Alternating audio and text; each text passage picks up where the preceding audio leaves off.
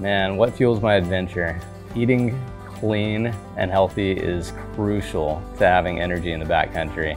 Uh, not only that, but when you eat clean and you eat good, you have the right mindset, you feel better, you feel healthier, and you perform when you feel better on the mountain. So uh, I like to I like to make sure everything that's going in is gonna fuel my adventure to the max.